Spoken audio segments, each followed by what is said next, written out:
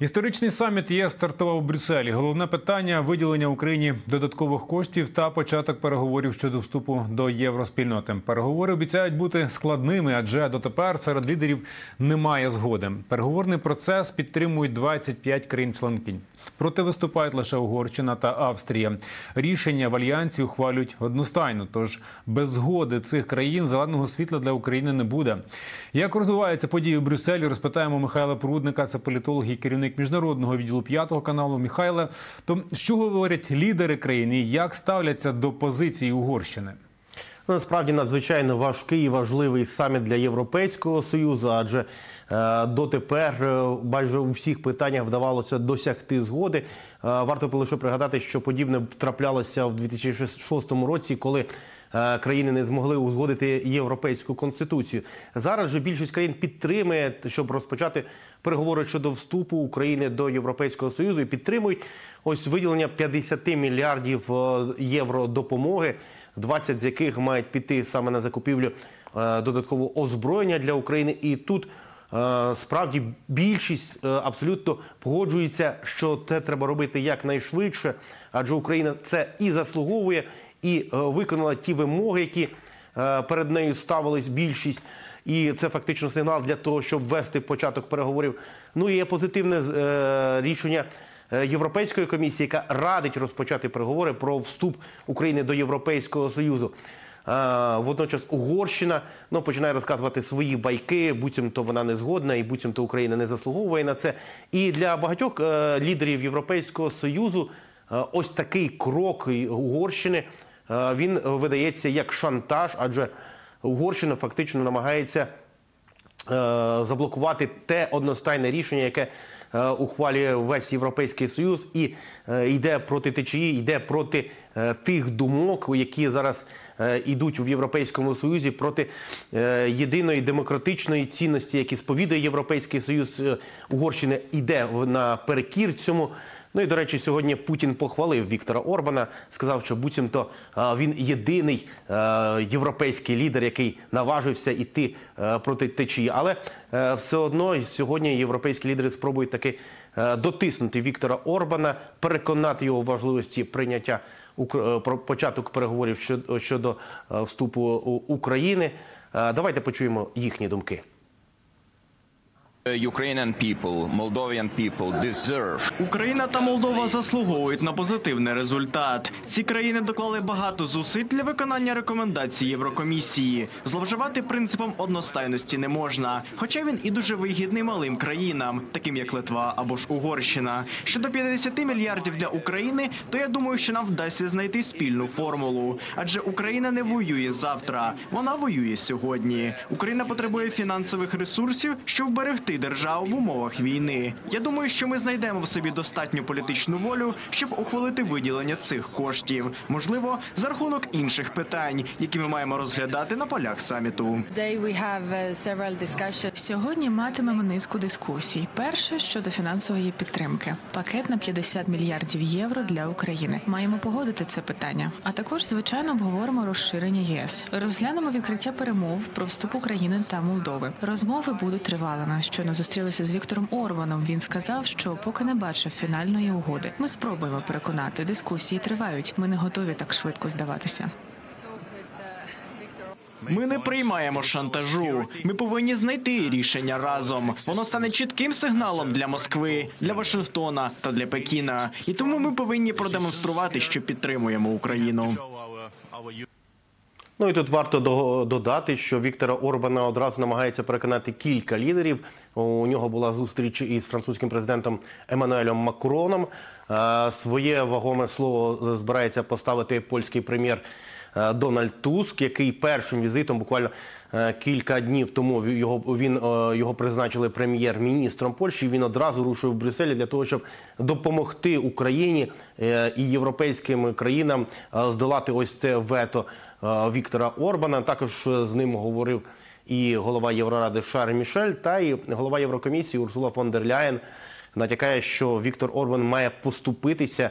Е, Адже більшість все таки виступають за початок переговорів з Україною.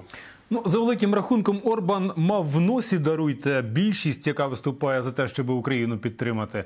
Але з іншого боку, він же ж наводить якісь аргументи. Європейський союз каже, що ми виконали всі вимоги, а Орбан каже, що мовляв не всі.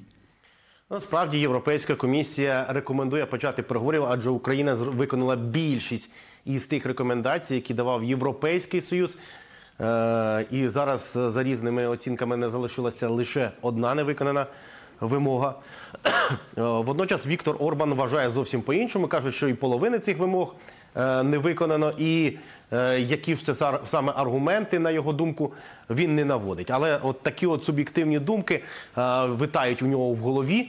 І саме тому він каже: ну буцімто я і не проти для того, щоб Україну з Україною починати переговорів, переговори, але Україна ж поки що не готова. Ну давайте хай вона добряче підготується, а потім через кілька років ми зможемо винести це питання на за стіл переговорів. Ну а поки що немає сенсу про що тут і говорити. Хоча більшість країн говорять, що все-таки є сенс. Ну давайте почуємо і Віктора Орбана.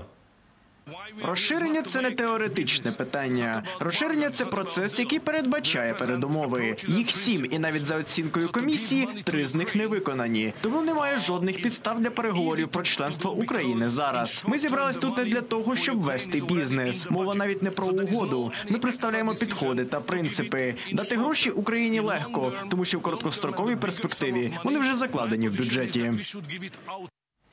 Ну тут варто, мабуть, е, Віктору Орбану піти в перший клас і повчити трошки математику, адже 7 мінус 3 дорівнює 4, а 4 більше, ніж 3. І саме тому Європейська комісія рекомендувала почати переговори.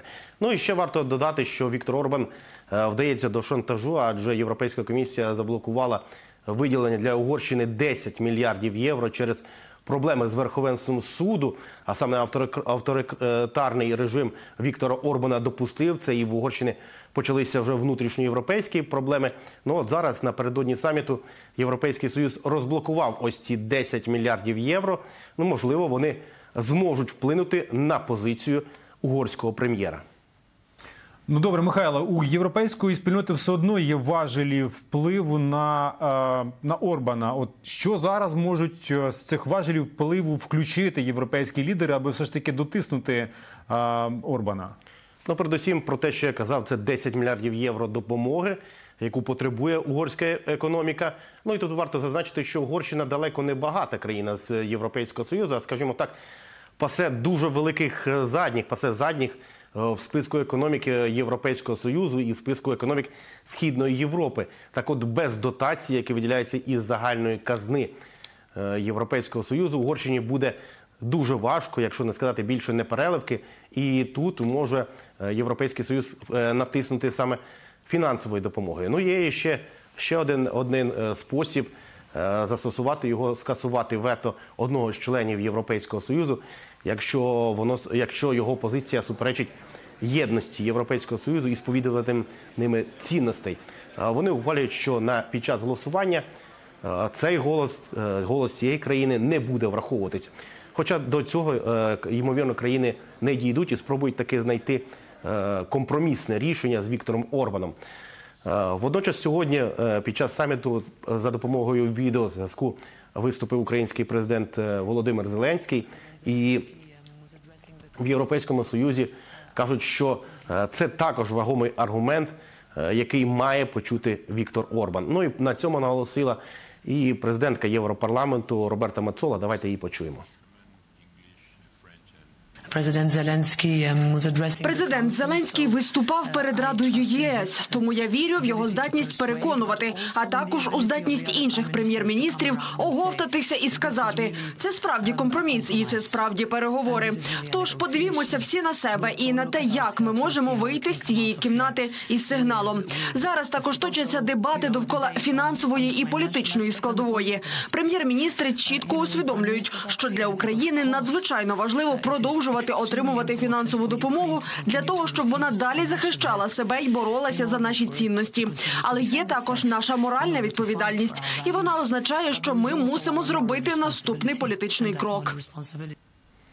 Отож, надзвичайно важкий, надзвичайно важливий саміт Європейського Союзу. І тут варто додати, що в куларах в Брюсселі кажуть, що наскільки важливе рішення щодо України, наскільки це важливе рішення і для самого Європейського Союзу, адже він має продемонструвати єдність. Якщо він не демонструє своєї єдності, то в чому сенс існування самого Європейського Союзу?